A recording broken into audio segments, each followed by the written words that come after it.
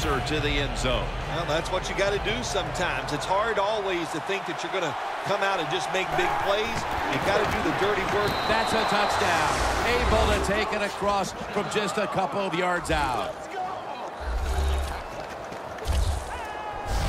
I hope you have your blowout playbook, Phil, because this game is so one-sided as the first quarter is drawing near a finish. Yeah, shoot, you know me. I'm very limited. I only have one playbook, and that's all out. But, hey, that describes what we're seeing here so